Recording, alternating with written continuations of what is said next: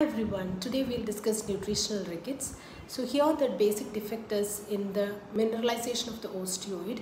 At the end of the metaphyseal plate, the chondrocyte should be replaced with the osteocyte and this happens because of deposition of the calcium and the phosphate and because of apoptosis which is not taking place and hence what happens there is a chondrocyte hypertrophy. So they will these they will present with the following clinical features.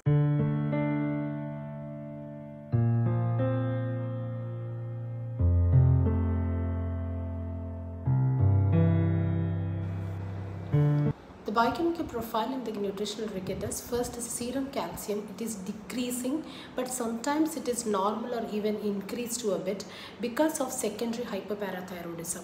Then what about serum phosphate? It is always decreased because even if there is secondary hyperparathyroidism, we know that the parathyroid hormone is phosphaturic. Next is the parathyroid hormone. Definitely there is an increase in the serum parathyroid hormone. Then 25 hydroxycholecalciferol when we are checking it will be decreased and 125 dihydroxycholecalciferol it is decreased or sometimes it can be normal or even increased. Why? Because of secondary hyperparathyroidism. Parathyroid hormone increases the activity of 1-alpha hydroxylase. So whatever available 25 hydroxy D is there, it will be converted to 125 dihydroxycholecalciferol. The next biochemical profile is alkaline phosphatase.